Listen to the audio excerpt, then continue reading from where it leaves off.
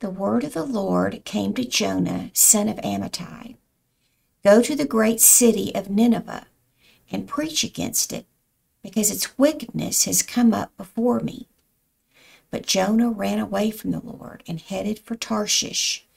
He went down to Joppa, where he found a ship bound for that port. After paying the fare, he went aboard and sailed for Tarshish to flee from the Lord.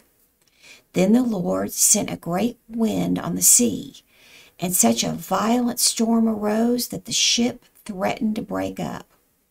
All the sailors were afraid, and each cried out to his own God, and they threw the cargo into the sea to lighten the ship.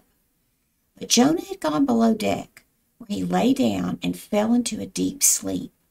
The captain went to him and said, How can you sleep?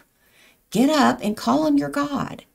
Maybe he will take notice of us so that we will not perish.